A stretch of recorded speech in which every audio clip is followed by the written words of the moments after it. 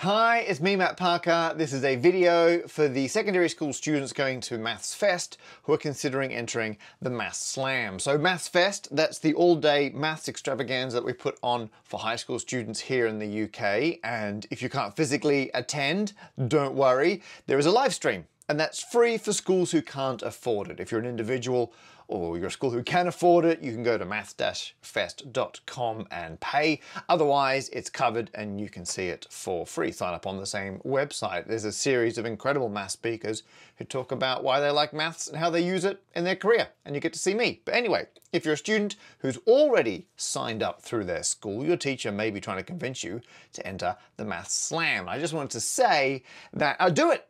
Absolutely do it. So the Math Slam is where students can get up on stage and present some maths to their peers. And then myself and some of the other math speakers and professionals will uh, choose our favorite and that will be the Math Slam winner. But the idea is you have a chance to get up and practice your public speaking skills. And the point is to communicate an interesting bit of mathematics. It doesn't have to be difficult, doesn't have to be something you come up with yourself. You don't have to do an investigation and develop your own bit of maths or findings. No, you can just find a maths trick, a maths fact, a maths technique, anything in mathematics that you think is interesting and you think other people your age might think is interesting, or at least will sit there looking like it's interesting, then you can enter that in the Maths Slam. It'd be great to see you there. We've had some amazing entries in the past, and uh, it's very welcoming, so do give it a go.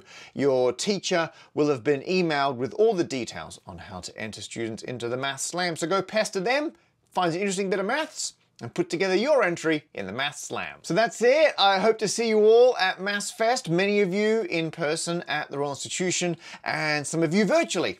If you're watching the live stream, you can still ask questions, provide comments to me, etc. It's a lot of fun. See you all there.